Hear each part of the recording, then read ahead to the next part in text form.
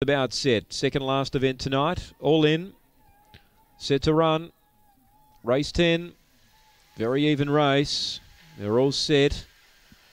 Racing now. And speed from Fly Right out wide wants to get over, booting up Born Billy, but Fly Right will clear Born Billy. Harbour Master ran to third and starts to wind up now.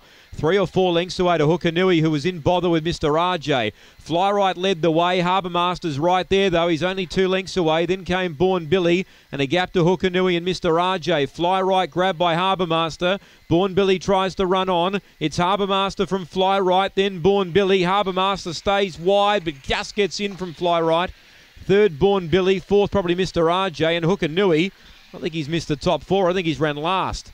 We stand by for that. 30 and 20 to time. Number two, Harbour Master. Well, he gets in. Fly Right gave him a real race. And uh, Harbour Master, $7. Wow. We would have thought that at the start of the day. Fly Right second. And Born Billy third. Four gets fourth. Mr. RJ. Hookanui runs last. Yes, um, yeah, Harbour Master. I don't think anyone would have thought that sort of price would have been on offer about Harbour Master. We know he's got the ability. He likes to get wide, as you saw in the back straight and the home straight.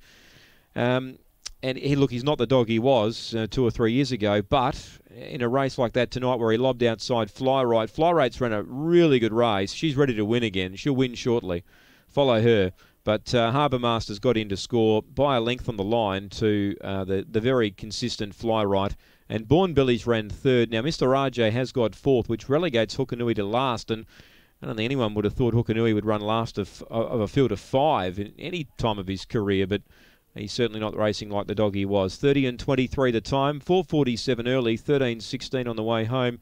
It's a length by half a length. The winner was good, uh, Harbour Master Morris, but I'd be writing Fly Right in the book. She'll be winning soon.